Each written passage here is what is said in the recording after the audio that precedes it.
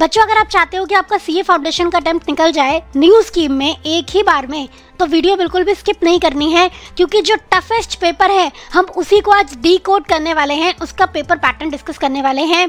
Law में बच्चों को समझ नहीं आता कि कितना केस स्टडी आएगा, कितना डायरेक्ट क्वेश्चन आएगा, कौन से चैप्टर में से कितने मार्क्स का क्वेश्चन आएगा, वो भी केस स्टडी आएगा कि डायरेक्ट आएगा। अगर ये सारी बातें आपको पता चल जाए तो आप सोचो कि आपकी प्रिपरेशन करना कितना ईजी हो जाएगा एंड लॉ का पेपर क्रैक करना कितना ईजी हो जाएगा। तो चलिए बच्चों, आगे टाइम वेस्ट ना करते हुए हम लॉ के पेपर पैटर्न को डिस्कस करते हैं। आज आपको आपके सारे क्वेश्चंस के आंसर्स यहाँ पे मिलने वाले हैं। सबसे पहले हम बात करते हैं कि पेपर का ओवरऑल स्ट्रक्चर कैसे रहने वाला है। तो आपका डिस्क्रिप्टिव पेपर होता है, पूरा आपको लिखना होता है हंड्रेड मार्क्स का। और आपको ट्वेंटी ट्वेंटी मार्क्स के क्वेश्चन आने वाले हैं। टोटल सिक्स क्वेश्चन आपको मिलने वाले हैं। है मैम आप तो कह रहे हो हंड्रेड मार्क्स का पेपर आएगा, छह क्वेश्चन ट्वेंटी मार्क्स के तो वन ट्वेंटी हो गया।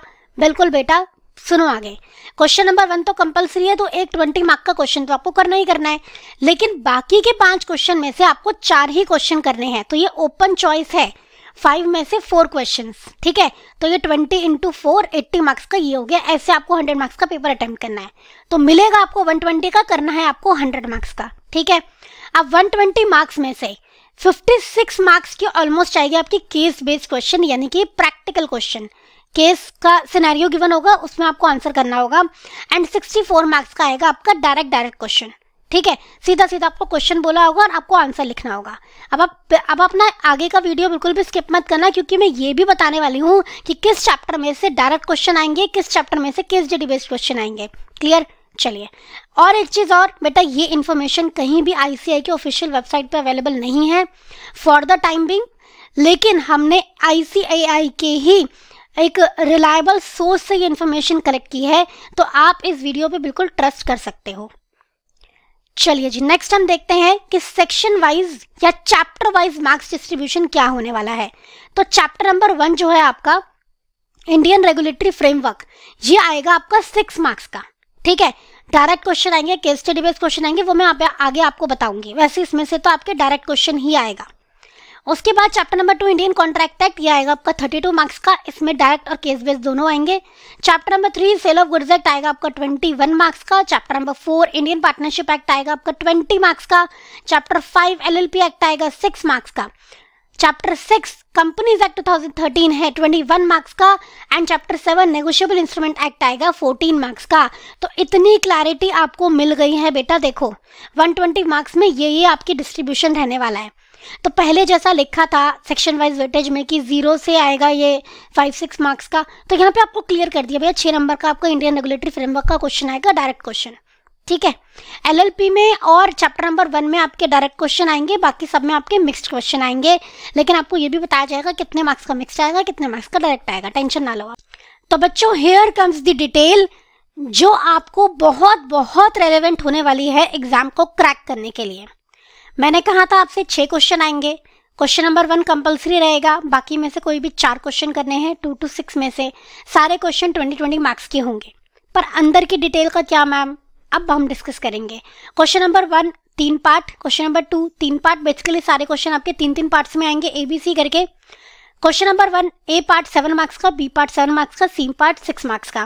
क्वेश्चन नंबर टू में भी सेम है थ्री में भी सेम है फोर में भी सेम है फाइव में भी सेम है. सिक्स में छोटा सा ट्विस्ट है. क्वेश्चन नंबर सिक्स में ए पार्ट सेवन मार्क्स का है बी सिक्स का है और फिर सी सेवन का है. ठीक है? तो बाकी सब में सेवन सेवन सिक्स है और क्वेश्चन नंबर सिक्स में सेवन सिक्स सेवन ऐसे वेटेज रखी गई है. क्लियर चलिए.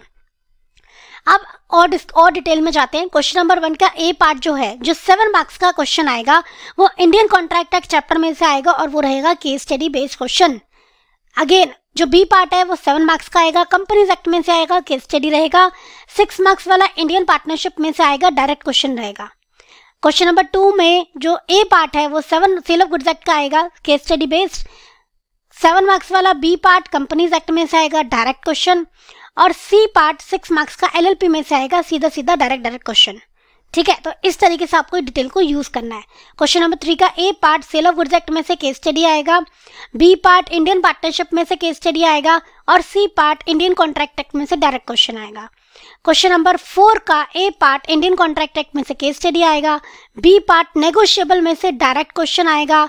सी पार्ट जो इंडियन रेगुलेटरी फ्रेमवर्क है, सीधे सीधा डायरेक्ट क्वेश्चन छह नंबर का आएगा। तो यहाँ पता लग गया आपको कि अच्छा क्वेश्चन नंबर वन वाला जो पार्ट है, वो यहाँ पे आने वाला है।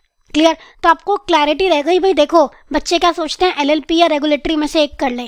तो एलएलपी अलग आ रहा है रेगुलेटरी एक अलग आ रहा है। अगर आपने इनमें से अगर ये दोनों ही छोड़ दिए तो आपके दो क्वेश्चन वीक हो जाएँगे। है ना? तो इसको इस तरीके से आप एनालाइज करेंगे न्यूट्रलाइज करेंगे अपनी प्रिपरेशन में। क्वेश्चन नंबर फाइव का ए बी सी अगेन तो सेवन सेवन सिक्स मार्क्स का। जो ए है, उसमें सेल ऑफ़ गुड्स एक्ट आएगा case study based question B part में पार्टनरशिप आएगा डायरेक्ट वाला क्वेश्चन सी पार्ट में इंडियन कॉन्ट्रैक्ट एक्ट आएगा again direct question question number six में ए पार्ट नेगोशियबल आएगा case study based B part Indian contract act direct question सीधा सीधा. C part में सेल ऑफ़ गुड्स एक्ट आएगा direct question तो basically अगर आपका डायरेक्ट क्वेश्चन वाले पार्ट स्ट्रांग है तो आप उन क्वेश्चंस को अटेम्प्ट करना जिनमें डायरेक्ट क्वेश्चन ज़्यादा है.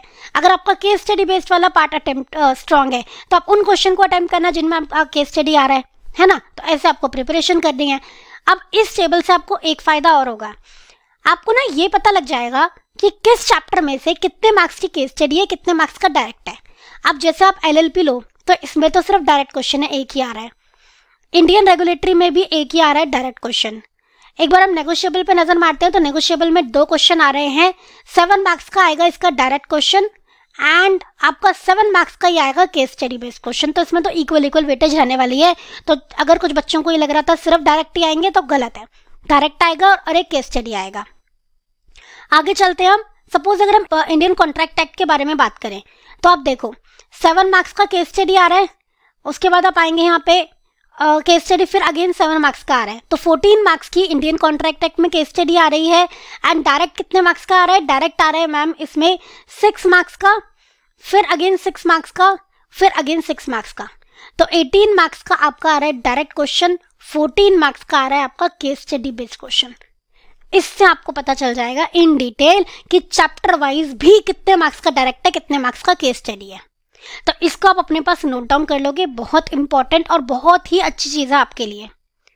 आई होप इसको आप यूटिलाइज करोगे अपनी प्रिपरेशन में एंड आपको ये बहुत यूजफुल लगी होगी।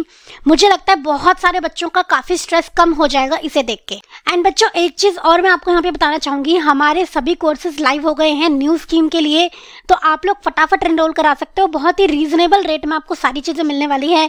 लाइव क्लासेस रिकॉर्डेड क्लासेस आपको जो ऐप मिलने वाला है वो एआई बेस्ड ऐप है। तो मज़ा ही आ जाएगा आपको उसको यूज़ करके। डाउट सपोर्ट मिलेगा चैप्टर वाइज टेस्ट मिलेंगे मॉक टेस्ट पेपर्स मिलेंगे एंड मैनी मोर तो आप लोग, अगर आप चाहते हो कि कोर्स को आप बाय करना तो लिंक आपको डिस्क्रिप्शन बॉक्स में मिल जाएगा। कंप्लीट पैकेज भी अवेलेबल है C A foundation nine point के नाम से, या अगर आप खाली लॉ का लेना चाहते हो तो उसका भी लिंक आपको डिस्क्रिप्शन बॉक्स में मिल जाएगा। क्लियर बच्चों? तो आई होप ये बहुत यूजफुल रही होगी ना वीडियो आपको मज़ा आया ना ये वीडियो देख के?